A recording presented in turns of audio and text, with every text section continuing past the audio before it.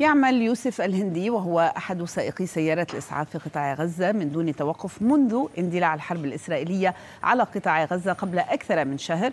يوثق هذا التقرير يوميات عمل يوسف الذي يخاطر بحياته لنقل الجرحى والجثث للمستشفيات في القطاع في ظل القصف الإسرائيلي المستمر. نتابع.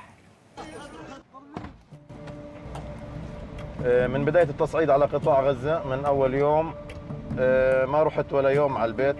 وصولي للبيت تقريبا كل أربع خمس أيام. آه، أما بشكل عام أنا موجود على مدار الساعة في العمل في الإسعاف والطوارئ.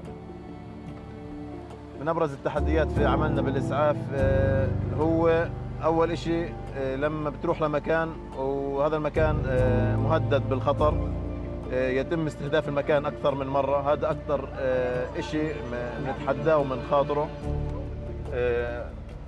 استشهد لنا عدد من ضباط الإسعاف؟ كثير والله من كثرهم ما بقدر أذكر عدد كثير كثير يعني بالعشرات ويمكن بالمئات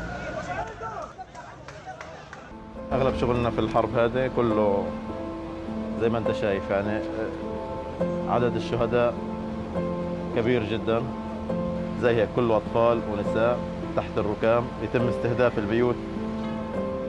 إحنا واقفين في المكان اصوات الطائرات أصوات القصف في الأماكن اللي حوالينا. على ما يبدو كل شيء مستهدف كل مدني مستهدف. حتى الطواقم الطبية مستهدفين. وأغلبهم بتم استهدافهم هم نائمين في البيوت.